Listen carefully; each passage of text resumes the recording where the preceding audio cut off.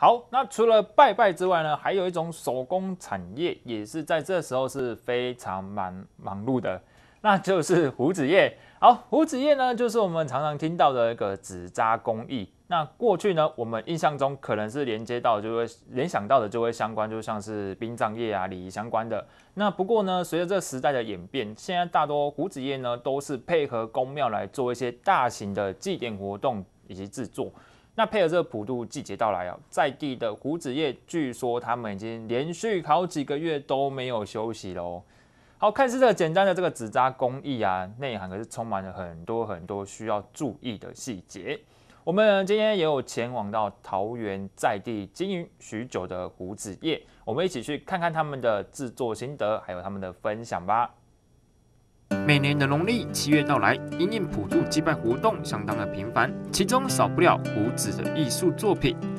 实际来到胡子店，可以看到师傅们正在努力的赶工，从最基本的一瓶骨架，再经过贴上外纸的作业，每个细节要求到位。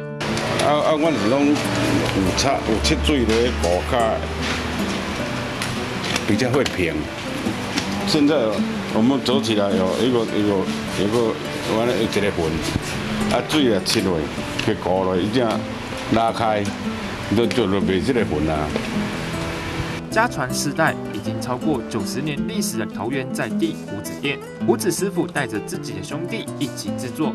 为了应付多家寺庙中原普渡、纸扎法传以及人物的订单，只能连夜不停的赶工。今麦庙会占唔到一半哦，庙会占一半。我这庙会就是农历四月份，你看四月、五月、六月、七月，都过四个月啊。哦，啊啊啊！你即嘛，啊你这要做做诶诶商的哦，一年嘛只有做四个月了呢。即嘛咯，那做商做商的工课哦，哪做哪休困，较无啦。啊，从即嘛这落，即嘛这落四个月拢无哪休困。师傅提到，在制作之前，除了必须要构思好成品的模样，基本的骨架也是关键，关系着整体造型的耐久程度。拿出一大条竹木开始裁切，如果没有几个月的功夫，就很容易造成失败，造成竹木的浪费。我一定，我一定做拢要用底个白的，唔是用那个厚纸板。唔是用印的印印厚纸板印印落去组合的啦，啊，阮这毋是啊，阮一定用底啊白的组合再来再来糊。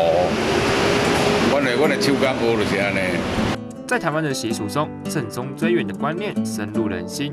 胡子的使用场合大致上分为岁时祭神、喜庆节日、吊丧礼仪，但一般用在喜庆的祭典中比较少。在商用礼仪占大多数，但随着市场的转变，手工制作的胡子业也逐渐的减少，也让这项胡子工艺的传承更增加了许多困难。